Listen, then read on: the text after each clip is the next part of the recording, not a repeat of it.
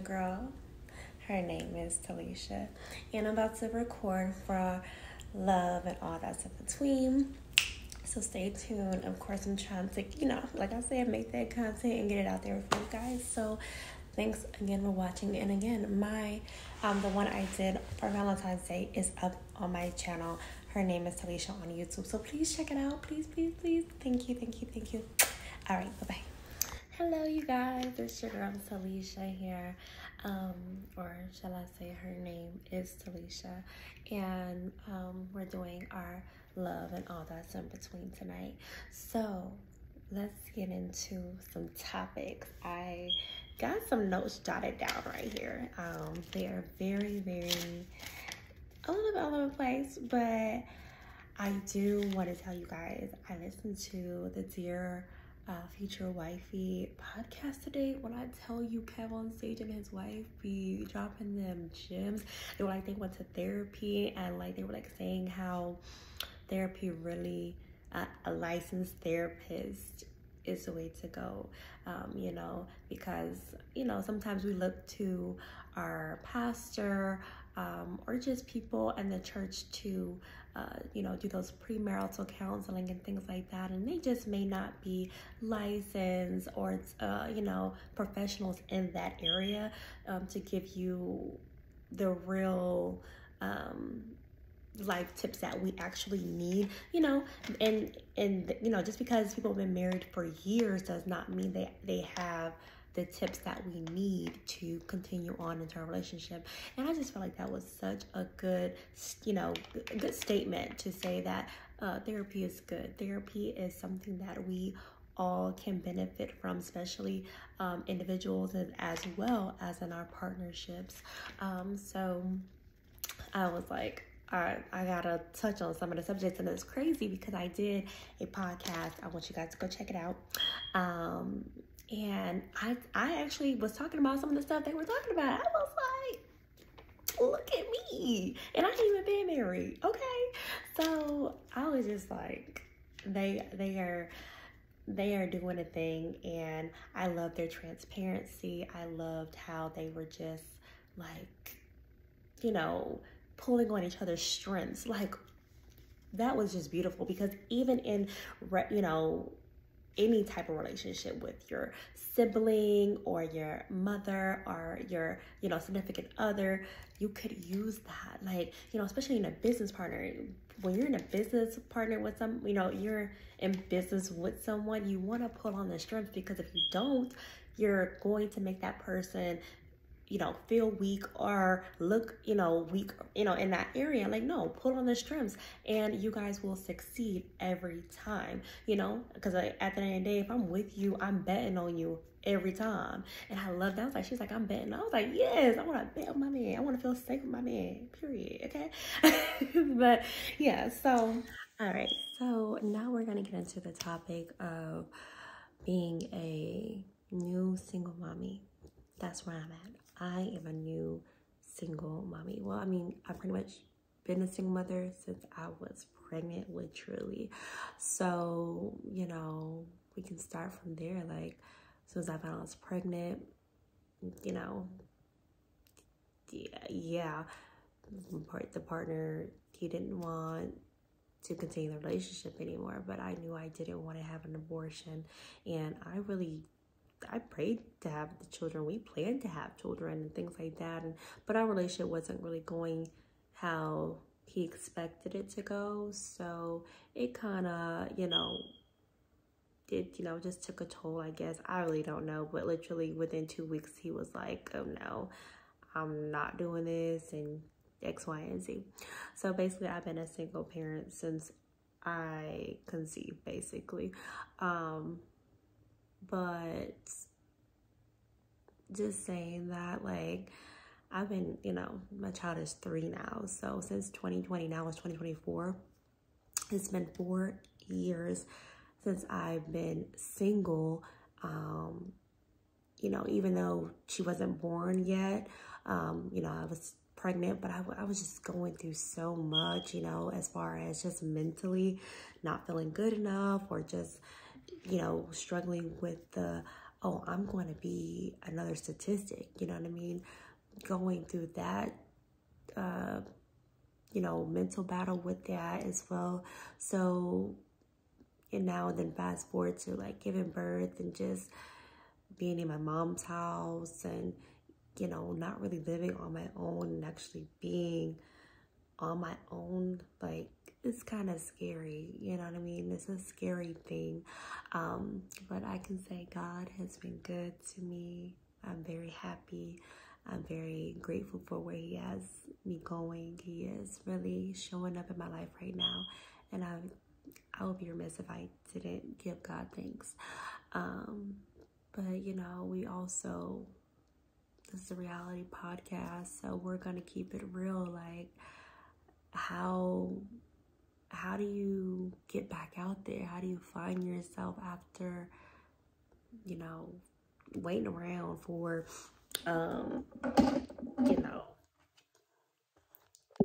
how do you find yourself after waiting around for your child's father to come back around to come back into the picture? And that's just that just wasn't God's plan for me.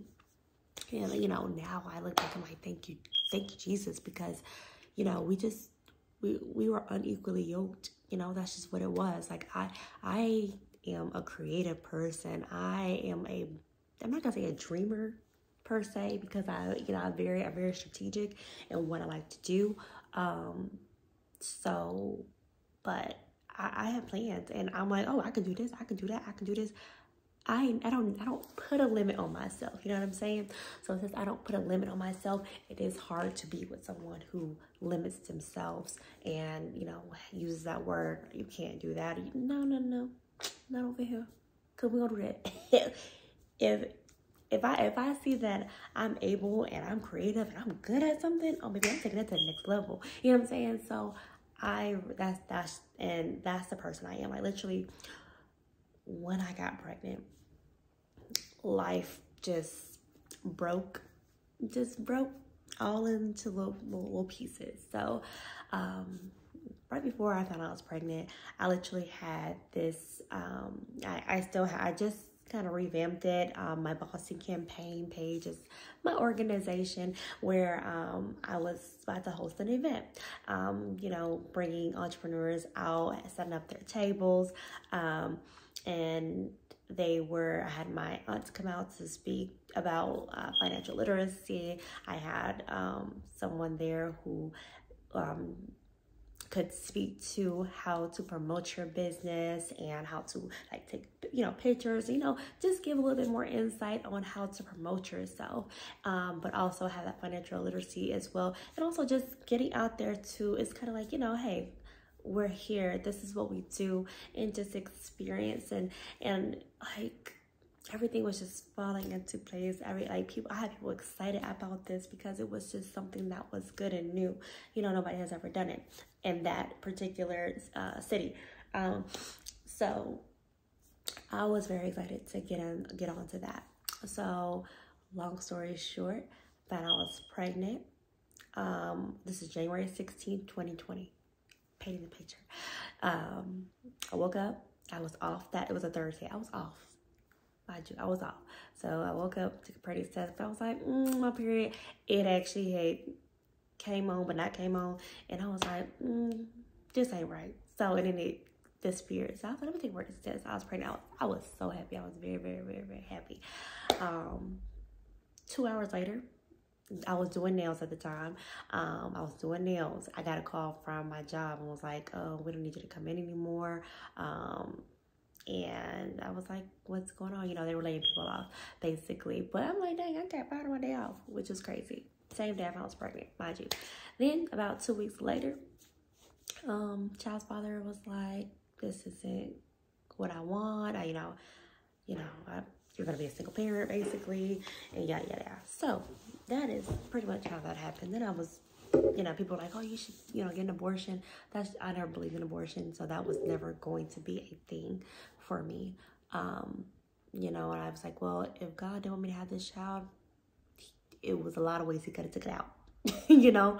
Um, but that didn't happen, thank the Lord, and we have healthy three year. And the ways that people may perceive you while you're going through your journey. And the thing about it is you're the only one going through your journey.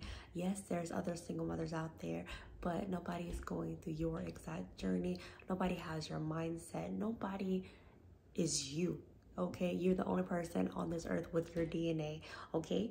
So for people to tell you how you should deal with the issue um you know it's kind of insensitive you know?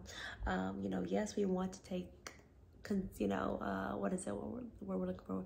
We want to take advice we can take advice but honestly what you the best thing you need to do is shut everybody out and listen to god.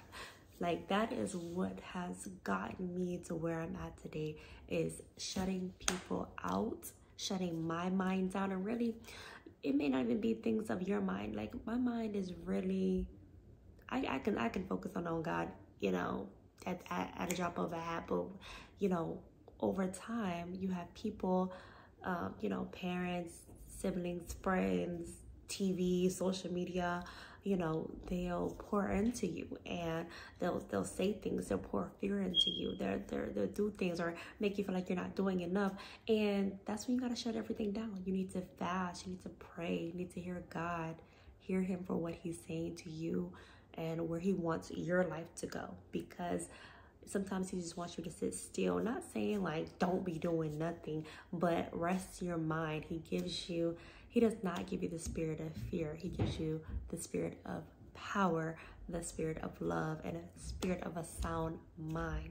Always keep that close to your heart. And that is second timothy 1 and 7 keep it close in your heart and understand that is the power of God, giving you the power, the, the first the power to overcome fear because it is a spirit, then the power to love, you know, love yourself and be graceful with yourself because it is a fleshly thing, but also giving you a sound mind to where it's quiet so only you can only tune into to God himself and see what he has a plan for you because his plans for you are good and to prosper you always, okay?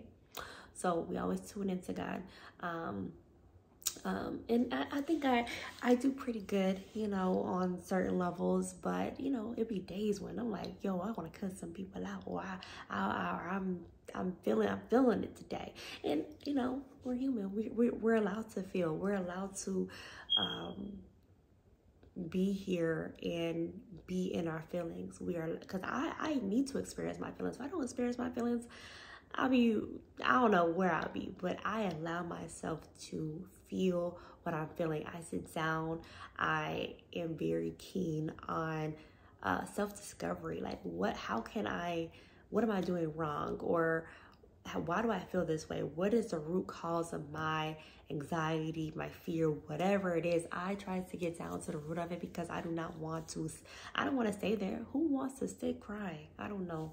I know some people that want to do that or they're okay or that's just their safe space i don't i, I don't get comfortable nowhere because god is always moving and i don't know where he taking me okay?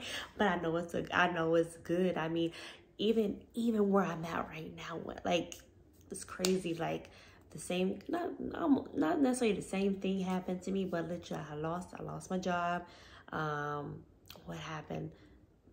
Uh, you know, lost place where I was living um, little relationship thing, situation with relationship, but yeah, little little love situation, you know, fell apart real quick. Um, but I was like, I know, I, I when all that happened within within a week from each other, like literally all of that happened. I was I smiled and I said, "Thank you, God. I know that's you, because what you about to do, you about you." I, I mean, not that I I didn't cry. I cried a lot because I knew like I was like man you know I never never questioned God never said why God never said this never that. But I but I, I do say okay what am I supposed to be learning right now? What am I supposed to be doing right now? Am I supposed to be fasting? I can't hear you right now because I'm, I'm I gotta because I hear everybody else and I gotta tune everybody out. I gotta fast I gotta pray I gotta, I gotta really get into my word because God want me to God is showing me something and what is it. You know what I mean? So that is really how I try to take on challenges when life is challenging me. And thank God for the people who God sends to help you. And, you know, don't ever let pride and ego get in the way when people are trying to help you.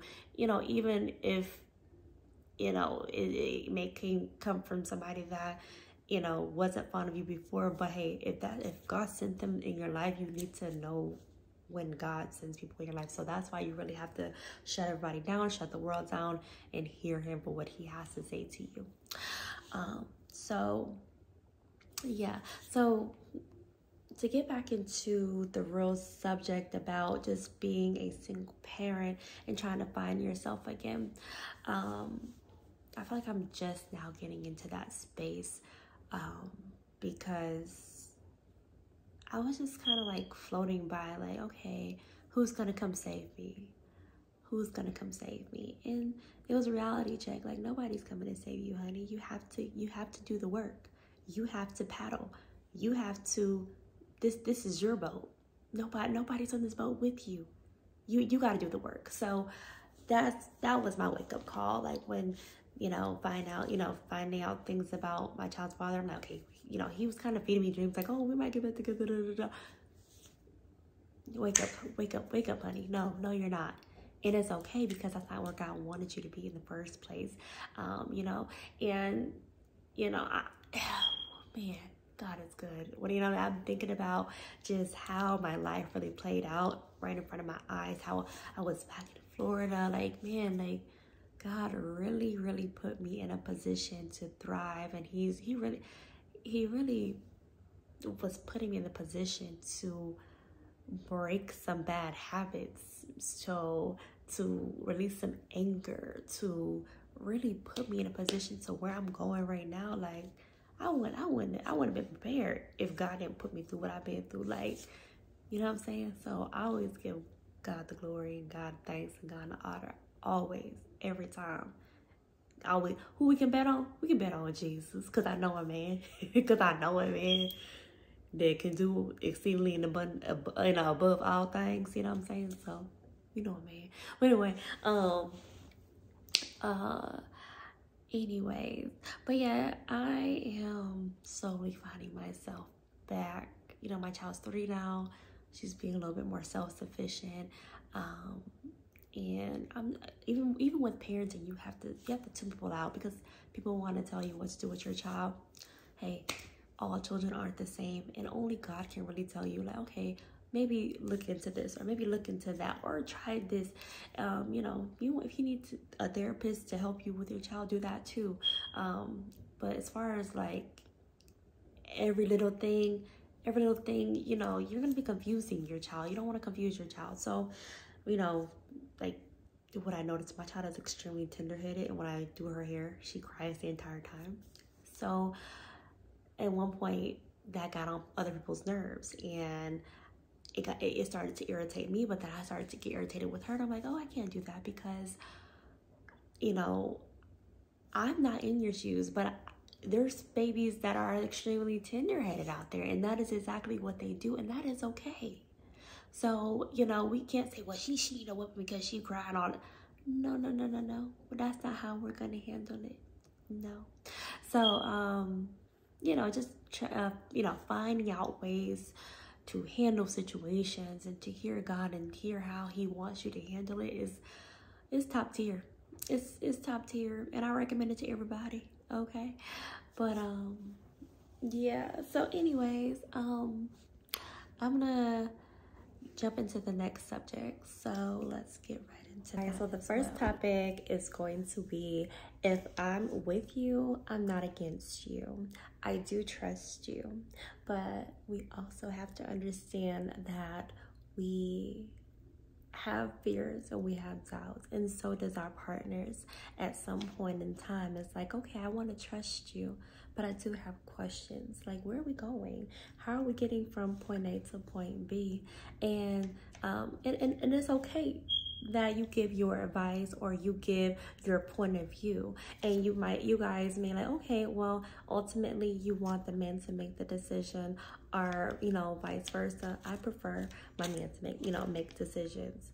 But at the same time i prefer that i am able to rely on him to listen to me, to make it a safe space for me to actually open up and ask my questions. Because me, I am very inquisitive. I will ask about a thousand and five questions, but I can understand how also that is frustrating to the man to feel like, oh, well, you don't trust me, you don't trust my leadership or my guidance to where I'm taking you. And I don't ever want my man to ever feel like he is, you know, not in control of the situation or you know i'm like of course you, you cannot control your partner and i never want my partner to ever feel um, that i can't be submissive to him. So we always want to keep in mind that our partners you know they love us and we love them and we want to make sure that they feel heard and also feel safe to express themselves um, in a way to where it's like, okay, well, I understand your fears. I understand your frustrations about where we're going. Um, I do need you to trust me, but I also hear what you're saying and it's our valid points. And so let's make a contingency. Okay, so my next subject is pretty much building a legacy. So my goal is to be married one day and I really like I pray to God all the time and God has really revealed a lot of things to me. Um, and he just he just keeps revealing. I'm just like, okay, God, okay, God, okay. you know what I mean? So the fears that I used to have surrounding marriage, I don't really have them anymore. Um, I just I just pray that my spouse continues to seek God as well and to hear God as well while we're together. Like, you know, once we are married, I pray that he continues to seek God because, you know, just as we can become into his will, you know, you can fall out of his will and you know what I mean? So I don't want you I don't want my spouse to fall out of his will and you know same for same for me like i don't want to be in the relationship and we're just not doing what god called us to do because marriage is a ministry and you know i, I want to make sure that we are striving to educate and be a blessing and be a ministry um, you know while we are married, you know? So the legacy, building a legacy is a thing for me. Like, I want you to always strive to wants want me. You know what I mean? Like, you know, never let never go to bed angry. Like that is that is a in the scripture. Don't go don't do not lay your head down angry. Do not give the devil that foothold on you. Um you know with the attitude you know angry attitude you know those type of things because now you uh, you allow them to fester in your spirit and now you have to really you know I mean? So oh yeah. So I was saying I, I listened to the Dear Future Wifey podcast today and um Miss Melissa like she she made it so plain. It was so good. She said it's like I have a stain on my carpet. It's spilled you know today but as time go on, you know, it's like, oh, I, you know, it spilled, but you have to go to work and you just kept moving. And, you know, as the days passed, you just kept going, you just kept going.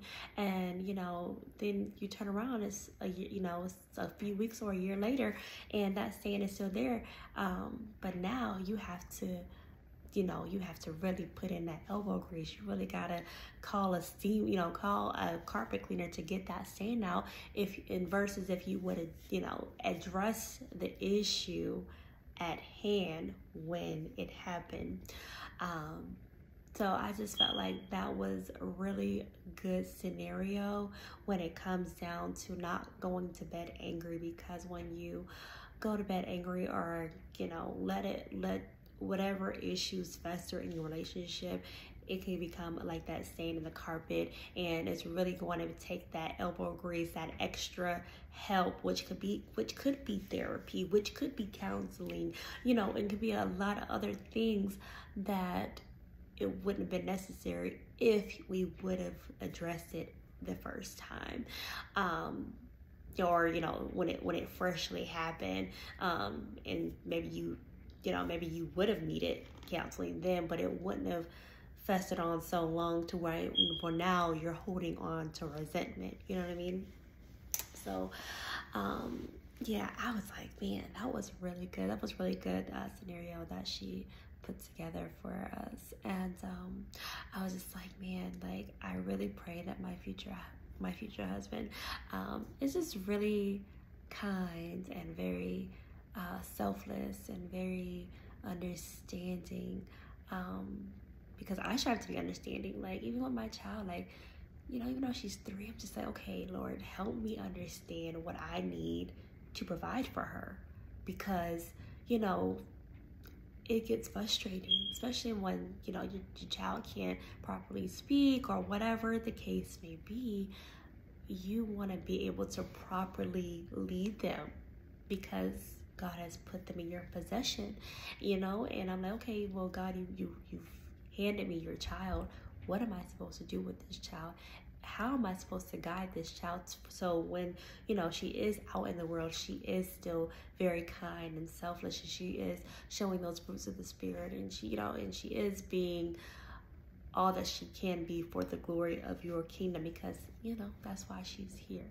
And, you know, I feel the same way as marriage. Like, you know, like, okay, Holy Spirit, how can I teach me what I need so I won't uh, so I won't frustrate my husband and, and vice versa you know what i mean you know like i know we're gonna be frustrated those are things that are natural but we really I, I strive every day to understand people and i pray that my spouse is the same way and you know slow what is it slow to so quick to hear slow to anger and slow to speak I try.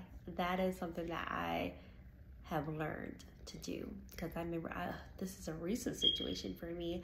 Um, very, very, very recent. I'm not gonna really like, get too much into it, but when it happened, when the situation happened, it was very, very disheartening, and I was like, I can really cuss this person out, but I ain't gonna do it. God, I said, God, what am I'm supposed to say to them? what am I supposed to say to them? And, you know, God didn't immediately say anything to me. I kept praying about it, kept praying about it, kept praying. Maybe like five or six hours later, God was just revealing. Because I, you know, while I'm praying, I'm listening to gospel, I'm listening to scriptures, I'm listening, you know, I'm in the word. So that is how God speaks to me. So as I'm listening and as I'm asking God for the answer of how I should respond to someone, He gives it to me, and I'm just so and just so so beautifully, and I'm just like, wow, like that is beautiful, like you know, and that's how I want people to respond to me, to take that time to say like, okay, you know, this is this is what God, you know, has spoke to me to speak to you. Um, and that's kind of how we live. We have to die to ourselves daily. Like decrease, Lord. De- let, allow me to decrease so you can increase in me. So so that you may always get the glory. You know what I mean? It, it may not always seem like it's glory, but when we are kind to people and we are saying the things that God wants us to say, you know, um, and being truthful and honest, but also being very kind and very uh, selfless in it, you know, God will always get the glory, how, however that may look. You know what I mean? So that is, you know, how I look at, you know, trying to build a legacy as far as just being selfless and making sure like how we die to ourselves daily with our you know our heavenly father. We have to die to ourselves daily with just people in general. And you know so we want to die to ourselves daily in the relationship with our spouse and make sure that they are good. Like okay are you okay? Like you know checking in on them um just their their mental health um and things like that. And you know in I've, I've all not this thing I've always felt in my spirit that when you're married someone I'm so I'm supposed to be so invested in you and you're supposed to be so invested. So like basically uh, when they say, you know, the two become one, I know it's over time, but it's like you know me so well. you you know you know what i'm saying like you know you you would know me and i know you so well that if you, you know before i walk upstairs you need a glass of water i'm gonna get that for you or if i'm in the bed you already know you know I, can, can, can I don't have to ask you you are gonna hand me the remote or you're gonna you know what i mean it's going to be that or you're gonna be so caring like oh did she cheat today or you know what i mean like you're we're gonna just sense each other and to continue to strive to do that is how we get to building our legacy. You know what I mean? So that is how I view that. Um, but, anyways, I feel like we have gotten to our marker of the day. I've had some other notes here, but I may just touch up on them um, tomorrow. I'm gonna go ahead and get this edited and try to get this out to you guys. Um, today is Friday, but you might see this either Saturday or Sunday. Um, I, but I, I do want to start doing um, maybe incorporating like uh, a little Bible study, maybe maybe a little bit. We'll see how that goes. Um, either on a Sunday or a Wednesday, so we'll see. Um, I'm trying to get consistent, so putting myself on a schedule and all that good stuff. But anyway, you guys, thank you guys for tuning in. Um, I'm gonna get better. Only gonna get better from here. Um, I feel like I have so much more to speak upon and talk to you guys and I've actually had some people volunteer to come and talk with me and I love that. I actually I absolutely appreciate everyone for watching and whatever you have to give, just come on and give it to me. Let's talk about it. Um, and I feel like other people's insight, it will also very much help as well. So again, this is a safe place, a safe space to learn, to speak your mind, and just feel good about yourself. So anyway, thanks again for watching. This is love and all that's in between.